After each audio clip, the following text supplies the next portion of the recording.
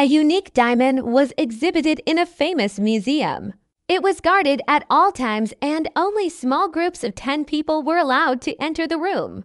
After one of these groups left, the alarm went off. The guards rushed into the room and found a young man there. They searched him and he had only a few bills, a bottle of soda, a lighter, a camera, and a cell phone in his bag. The guards had to let the man go. But the next morning, it was announced that the diamond had been stolen.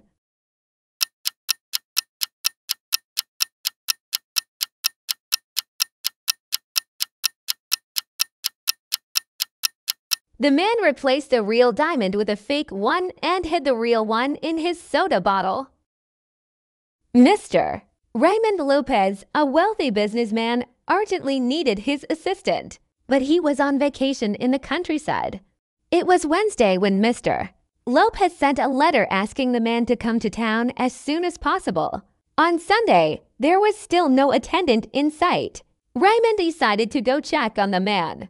When he arrived, he found that his assistant was fine and was packing his things. The assistant said he had received his letter the day before and was about to return to the city.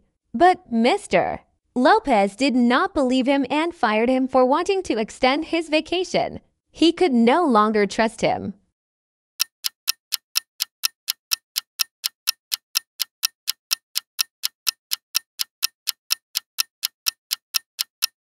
The calendar showed that it is Monday, but there is no mail delivery on Sundays. The boy lied. Thank you so much for watching the video. We hope you liked it.